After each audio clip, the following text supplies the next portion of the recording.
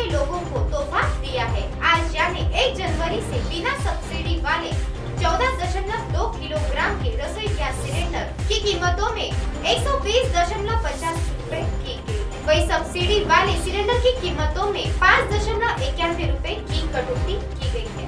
कटौती के बाद अब चौदह दशमलव दो किलो वाले सब्सिडाइजर एलपीजी सिलेंडर दिल्ली में चार सौ चौरानवे दशमलव निन्यानवे रूपए का मिलेगा। अभी तक इसकी कीमतें पाँच सौ दशमलव नब्बे रूपए की वही चौदह दशमलव दो किलो के गैर सब्सिडी का मिलेगा। अभी तक इसकी कीमत पाँच सौ नब्बे रूपए की वही चौदह दशमलव दो किलो के गैर सब्सिडी वाले एलपीजी सिलेंडर को अब दिल्ली में छह सौ उनबे अभी तक आठ सौ नौ दशमलव पचास रूपए की तीस नवंबर को कटौती की गई। तीस नवंबर को बिना सब्सिडी वाले चौदह दशमलव दो किलोग्राम एलपीजी सिलेंडर की